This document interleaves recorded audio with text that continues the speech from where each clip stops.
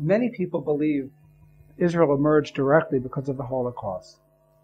They believe that there was a wave of guilt that flooded the Western world and brought the Western world to establish the State of Israel. This explanation, however, doesn't stand up to historical exploration.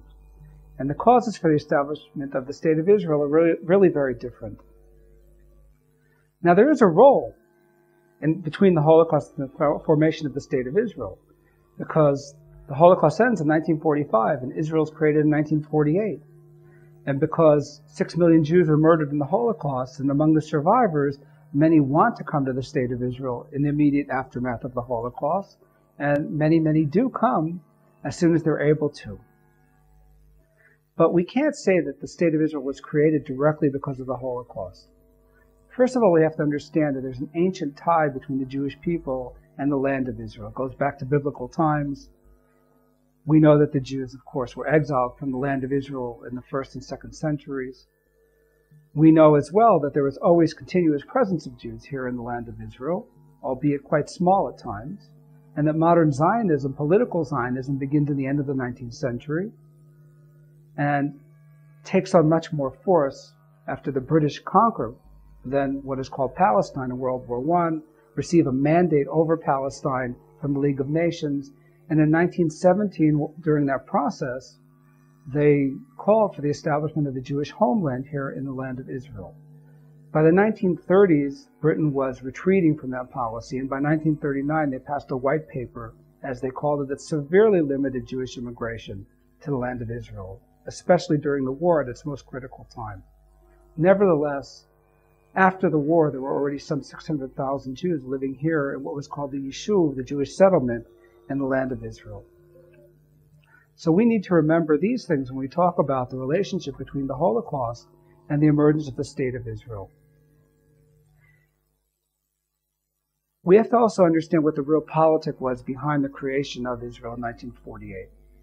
First of all, there are three important players here Britain, the United States, and the Soviet Union. Let's look at Britain first. Britain has a mandate over Palestine. By the end of World War II, there's more and more violence going on here. It's very hard for them to hold on to the rule of Palestine, especially because at the end of World War II, Britain is a depleted country. They've given their all for the fight to destroy the Nazis and their allies, and Britain's come out of it really depleted. Holding on to Palestine, to the mandate, in the conditions of violence here and with the end of World War II and their financial and economic situation back in Britain makes it all very hard.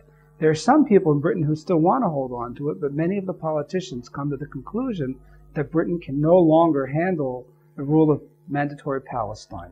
And so they hand it back to the League of Nations. Another player is the United States. Of course, Harry S. Truman, who's president of the United States at the time, can be said to have had a certain amount of sympathy for the Jews. We know that when reports came back about the Jews in the American zone in Germany, in the DP camps, that he was moved and he understood that there was a problem there. And one of the reasons he supported the creation of the state of Israel is because he wanted to send Jews to this place, basically to get rid of the problem that he has with dealing with them in the German in Germany, in the American section of Germany. But perhaps even more important is the question of the voting in the United States towards the presidential election of 1948. Truman needs the largest state, which is New York, in order to win the election. New York has a very large Jewish population. The Jews of New York, like the Jews of the United States in general at the end of World War II, are very much in favor of the creation of a Jewish state in Palestine, of the state of Israel. And on that background, he gives his support probably more than anything else. He certainly doesn't feel any guilt about what the United States did or didn't do during World War II to help Jews. Not at this point. That's something that will come into the American consciousness much later. The last player, of course, is Stalin and the Soviet Union. Now, you can't accuse Stalin of feeling guilt over anything or sympathy towards anybody. And perhaps one of the best illustrations of this is how he treats Jews who are found on Soviet territory as the Soviet troops are pushing out the Nazis, Jews who have managed to survive. Agents of the NKVD, which will later be the KGB, interrogate these Jews, and they can't understand how they could have survived. They must have broken laws. They must have collaborated, so they feel. And many of them are tortured, they're interrogated, they're sent to gulags. They're certainly not treated with any sympathy. And again, Stalin doesn't feel any guilt about what happened to the Jews in the Holocaust.